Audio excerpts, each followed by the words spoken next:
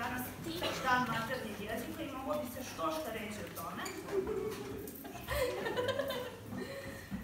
Danas je dan maternjeg jezika.